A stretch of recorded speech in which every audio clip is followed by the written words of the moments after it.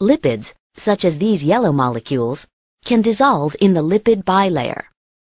Notice how they move down their concentration gradient, from where they are more concentrated to where they are less concentrated. This is an example of diffusion. Diffusion is a form of passive transport. It does not require energy from the cell.